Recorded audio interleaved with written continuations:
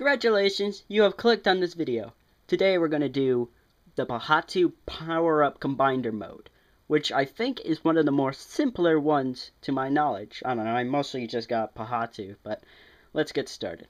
First off, remove Pohatu's old mask, put on the mask of stone, then go over here, remove the staff of the protector, remove this bottom part of the staff, and remove this chest plate, or side plate. You can put those to the side for now, for just a second. Grab this piece, put this piece on. As you can see, now you've just made the staff. Remove the boomerangs, or jetarains. Put the staff right there, exactly like it's shown. Put this armor plate right here, and put the jetarains like this.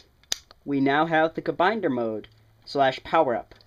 As you can see, uses the staff like that, has his golden mask, and now he could use the jetarains to travel. And now he can face the two skull spiders. So yeah, that is how you do Pohatu's Combiner Mode Power Up.